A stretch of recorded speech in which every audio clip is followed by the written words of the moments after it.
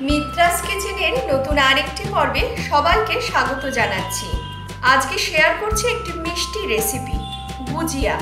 তবে গুজিয়া সাধারণত খোয়া ক্ষীর থেকে তৈরি হয়, কিন্তু আজকে সেটা আমি তৈরি করব খোয়া ক্ষীর ছাড়াই, তাল দিয়ে এবং সঙ্গে আরও কিছু উপকরণ সহযোগে। তাহলে এবার শুরু করছি।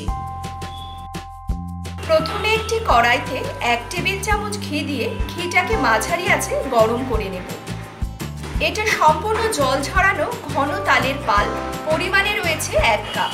তাল থেকে খুব সহজে রস বের করা, তেতো জল ঝরানো ইত্যাদির বিস্তারিত বিবরণ সহযোগে একটি ভিডিও আছে আমার চ্যানেলে। লিঙ্কটা আপনারা ডেসক্রিপশন বক্সে পেয়ে যাবেন।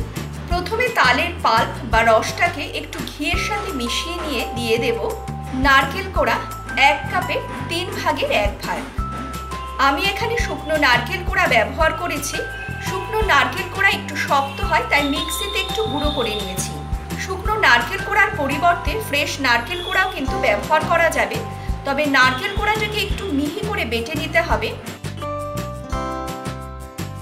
এবার সব কিছুকে মিশিয়ে ক্রমাগত নাড়তে থাকব। তালের কাঁচা গন্ধটা দূর না হওয়া পর্যন্ত। চার থেকে পাঁচ মিনিট একদম মৃদু আছে করলেই কিন্তু এটা হয়ে যাবে। এবার ফ্লেমটাকে বন্ধ করে সম্পূর্ণ ঠান্ডা করে নেব। আজকের রেসিপিটি ভালো লাগলে সকলের কাছে একটা অনুরোধ রইল চ্যানেলটিকে সাবস্ক্রাইব করার। সাবস্ক্রাইব করার পরে পাশে থাকা বেল আইকনটা প্রেস করতে ভুলবেন না। তাহলে নতুন রেসিপি আপলোড হওয়ার সঙ্গে সঙ্গে আপনার কাছে নোটিফিকেশন পৌঁছে যাবে। তালের পাল্পটা এখন সম্পূর্ণ ঠান্ডা হয়ে গেছে। এখন এর সাথে কিছু উপকরণ আমি মেশাবো। গুঁড়ো দুধ নিয়েছি দুই কাপ এবং দুধ নিয়েছি হাফ লিটার।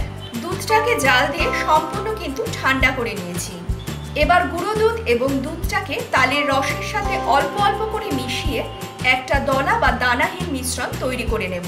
তবে একসাথে মেশালে কিন্তু দলা বা দানা বেঁধে যাওয়ার সম্ভাবনা থাকবে।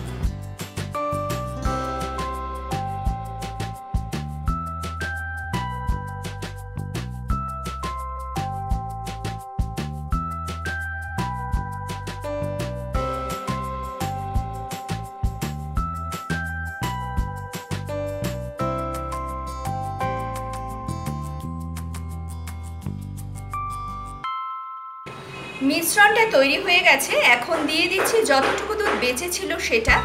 স্বাদ মতো চিনি। চিনি নিয়েছি এখানে আমি হাফ কাপ, কারণ এখানে গুঁড়ো দুধ ব্যবহার করেছি, গুঁড়ো দুধ কিন্তু একটু মিষ্টি মিষ্টি হয়। এলাচ গুঁড়ো দিয়ে দিলাম হাফ চা চামচ পরিমাণে, লবণ এক চিমটে। সব কিছুকে ভালো করে মিশিয়ে নিয়ে চলে যাব গ্যাসের ফ্লেমটা অন করতে।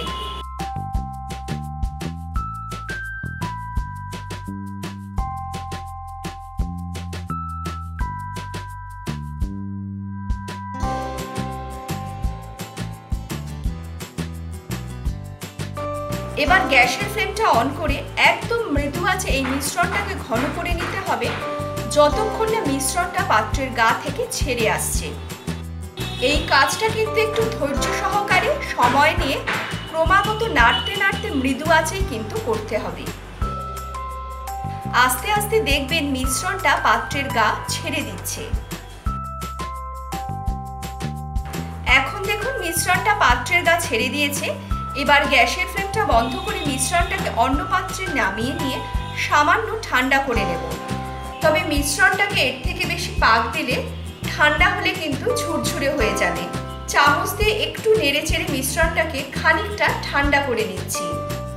মিশ্রণটা সামান্য ঠান্ডা হলে হাতে সামান্য ঘি নিয়ে একটা মসৃণ ডো তৈরি করে নিতে হবে। মিশ্রণটা একটু গরম গরম থাকতেই কিন্তু গুজিয়াগুলোকে বানিয়ে নিতে হবে। এখন চলে যাব গুজিয়াগুলো তৈরি করতে। প্রথমে হাতের তালুতে একটু ঘি মাখিয়ে নেব। তারপর প্রায় এক টেবিল চামচের মতো তালের মিশ্রণ নিয়ে প্রথমে হাতের তালুর সাহায্যে একটু গোল করে নেব। তারপর লম্বা করে নলের বা পাইপের মতো আকৃতি দেব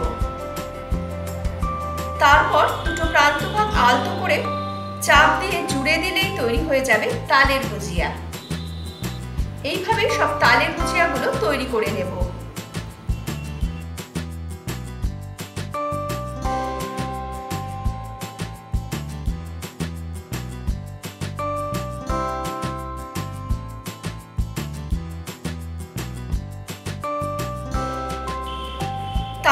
গুজিয়াগুলো তৈরি হয়ে যাওয়ার পরে এইগুলোকে কিছুক্ষণ শক্ত হয়ে যাওয়ার জন্য রেখে দিতে হবে।